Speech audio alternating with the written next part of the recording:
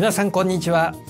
ほぼ5分でわかる人生相談 Q&A 幸せな人生の極意の第200回です。今回も皆さんの質問にお答えいたします。今回は家庭連合の信徒の声を聞かせてくださいという質問に対してお答えいたします。家庭連合公式ウェブサイトには信徒の声が多く掲載されていますがその中から23歳女性祝福2世の声を紹介いたします。私は小さい頃から統一原理を聞き学んできました。毎週日曜日に家庭連合の礼拝に参加し、友達と過ごす時間がとても楽しかったです。私が家庭連合の教会でいつも感動するのは、神様のもとの人類一家族世界を目指した心情文化の取り組みがあることです。学校ではいじめがひどく、誰も信じられずに一人でいることが多かったのですが、家庭連合の教会へ行くと、お帰りと声をかけてもらい、自分を偽らずに安心して過ごせる居場所でした。どんな人であってもみんなが神様の子供であるという兄弟姉妹の関係であり、受け入れ合い、支え合える信条文化は家庭連合の教会だけだと思っています。2022年7月8日以降、そんな私の大切な居場所を悪く言われて、私はとても傷つきました。私のような人がいるのを何も知ろうとせずに、一方的に批判するのは悲しいです。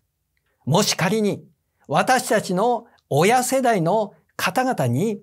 一部批判される過去があったとしても、現状を見てみれば、悔い改めて新しい未来に向かおうとしているのを感じます。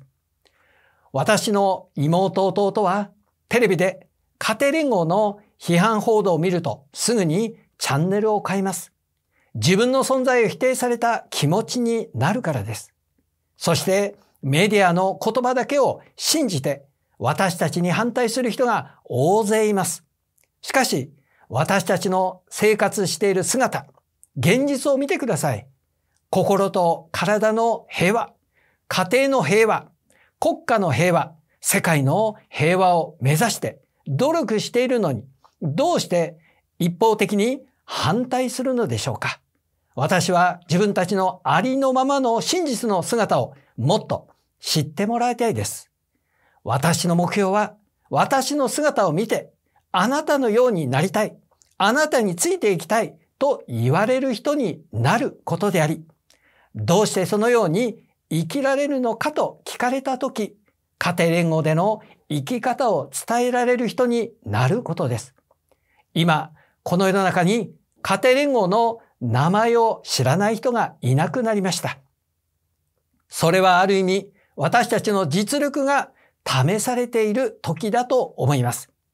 どんなに悪口を言われ、迫害を受けたとしても、それに対抗して攻撃し、復讐するのではなく、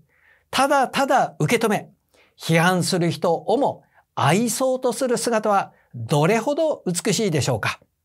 私たちは、いやいや信仰しているのではなく、自らの意志で信仰しています。